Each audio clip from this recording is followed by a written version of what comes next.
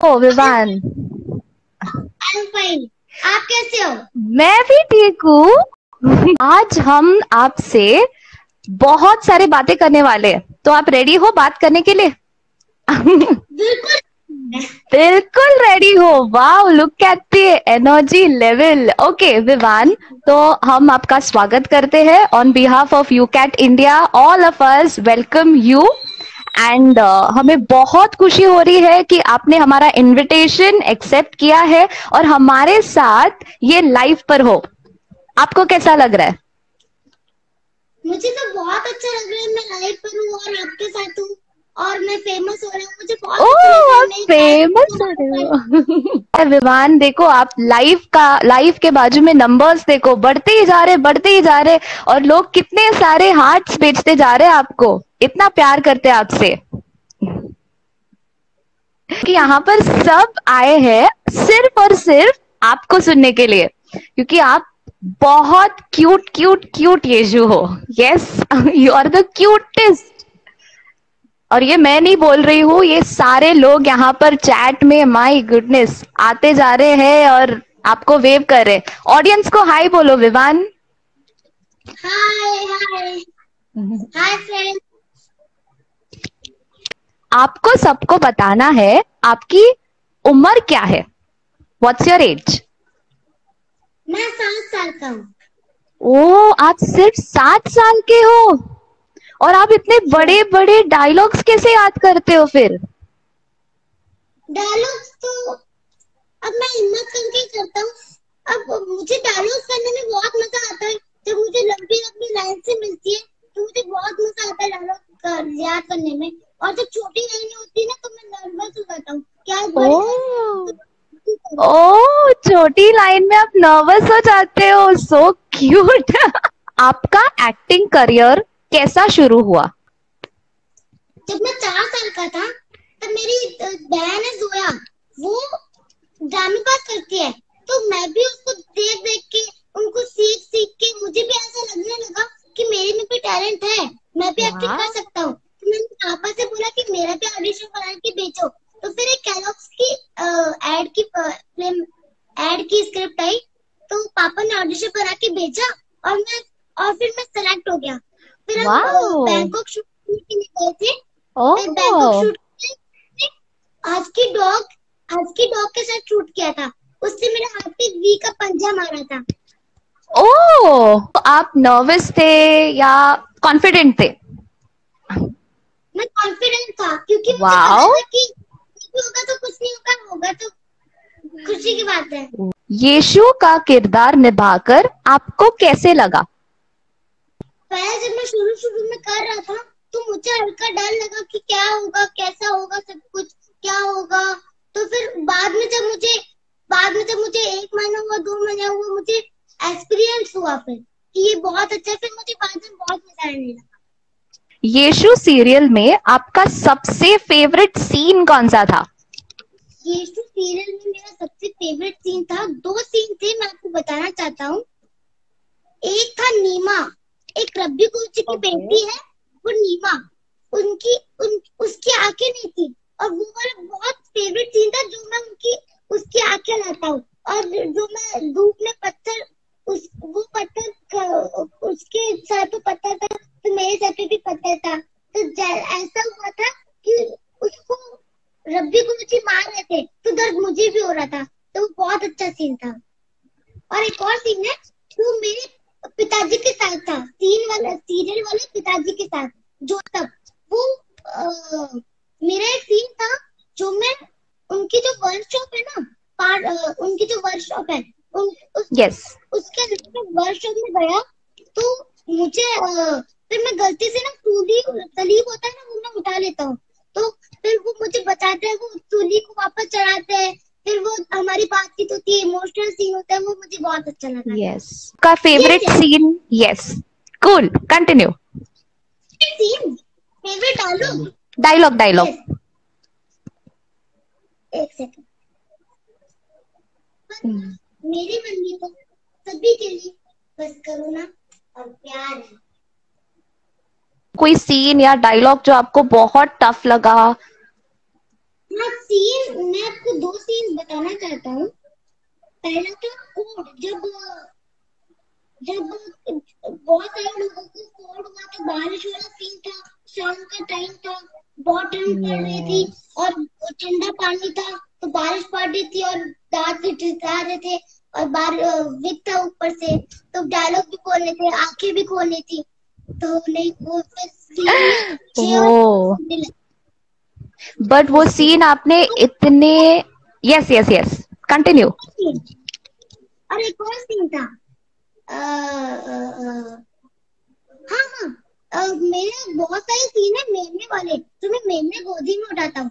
पर सबसे था सीन जो मैं, जो था ना, उससे मैं बाहर जा रहा हूँ और मेरना मेरे आधे घंटे हाथ में ही है। वो मेरा बहुत डब सीन था, क्योंकि हमारी टीम ने, वो जो मेरना है ना उसको मतलब छोटे मेमने को अप्रूव करने की बहुत कोशिश की, पर वो मिला नहीं छोटा मेमना। इसके लिए मुझे थोड़ा भारी मेमना उठाना पड़ा। मैंने यीशु से ये सीखा कि वो सबसे प्रेम करते प्यार करते सबसे, और जो, जैसे किसी को दर्द हुआ तो वो दर्द उन्हें भी होता है और वो उनके मन में कोई बुराई नहीं है और वो सभी से प्रेम करते हैं मैं भी ऐसे ही बनना चाहता हूँ लॉन्ग हेयर और शॉर्ट हेयर मुझे लंबे बाल पसंद है क्योंकि उसमें अलग अलग स्टाइल कर सकते हैं अलग अलग तरीके के तो इसलिए मुझे बाल बहुत अच्छे लगते हैं। तो जब मैं विग पहनता था तो मुझे हल्की गर्मी लगती थी पर वो बाल बहुत okay. अच्छे लगते थे। वाह तो अभी आप बाल बढ़ाओगे ना? हाँ ये फेवरेट को एक्टर कौन थे? हाँ को एक्टर हाँ रब्बी गुरुजी यानी कि विक्की सर मेरे बहुत सबसे फेवरेट को एक्टर थे। वाओ जब भी जब भी मैं सेट पे आता था तो मुझे कंबल में छुपा लेते थे। तो मुझे कहाँ गया कहाँ गया। और मुझे उनके चिक्स बहुत अच्छे लगते थे। और देवदूत यानी कि गिरिराज काबरा सर। तो वो मुझे वो जब मैं रूम में आता था तो वो मुझे रूम में बोल के जाते थे मेरे फॉरवर्ड पे किस करते थे और मुझे रूम में बोलते थे कि तुम बहुत अच्छे करते हो तुम बहुत अच्छा करते हो तुम बहुत अच्छे एक्सप्रेशन देते हो तो मुझे उससे बहुत वो होता था। यीशु के रोल के लिए आपने जब ऑडिशन दी थी और आप सिलेक्ट हो गए तो आपको कैसा लगा? जब हम जयपुर थे तब हमारे को ऑडिशन आया। हमने बना के भेजा था। तब मुझे ऐसा लग रहा था नहीं होगा नहीं होगा। फिर जब हुआ तो मुझे बहुत खुशी हुई। मुझे ऐसा था कि सर की टीम को थैंक यू बोलूँ और अरविंद बब्बा सर को थैंक यू बोलूँ और चैनल को थैंक यू बोलूँ। मुझे वेरी अच्छा नाइस आपको कैसे लगी है द रोल ऑफ़ मदर मेरी जब जब जैसे इमोशनल सीन होते थे तो वो मेरी बहुत हेल्प करती थी मैं भी उनकी बहुत हेल्प करता था। तो वो जो सीन है वो बहुत अच्छा बन जाता था। और दो बार मेरे नानी का सीन था उसमें गाना बजता था। मैं मैं आप सभी दर्शकों को वो गाना सुनाना चाहता हूँ। Yes yes please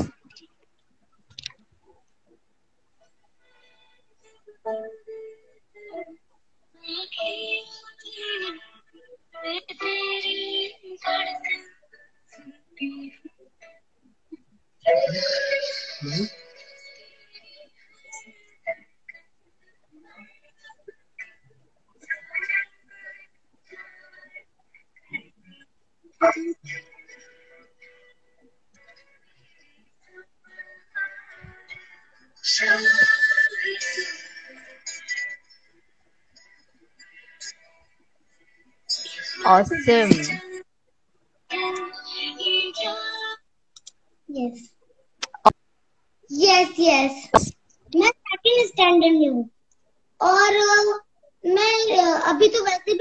की वजह से ऑनलाइन क्लास होती है। मैं ऑनलाइन क्लास को अटेंड करता हूँ और और और पढ़ाई भी करता हूँ। कभी कभार पढ़ाई करता हूँ कभी ऑनलाइन क्लास अटेंड करता हूँ। क्या आपने सेट्स पे कुछ मस्ती या शरारत की थी या आप हमेशा सीरियस ही रहते थे? नहीं नहीं मैंने मैं मैं ऐसे तो बहुत वो भोला बार दिखता हूँ पर वो यस वहाँ पे वहाँ पे एक डीओपी थे पवन सर। वो Okay. जब हमें कैरी तोड़नी होती थी वहाँ कैरी का पेड़ था हम कैरी तोड़ते थे और उनके कैरी तोड़ते थे। ओ तो मैं तो मैं उनके कंधे पे बैठता था और फिर वो जब उठते थे तो फिर मैं कैरी तोड़ता था उनके कंधे पे।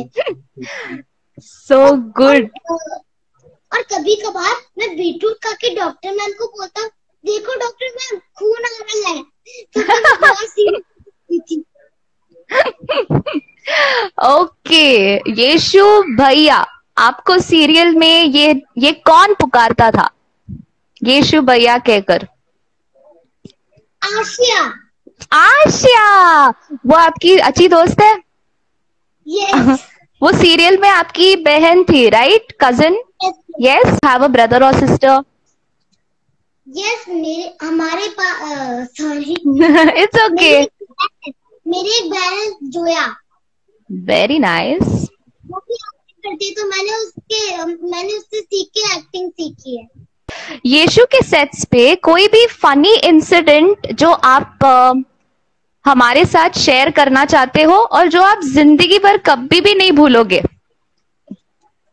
हाँ हाँ। मेरे पास बहुत सारे नकली अ, वो नकली सांप है तो मैं? डायरेक्टर सर की नकली सांप।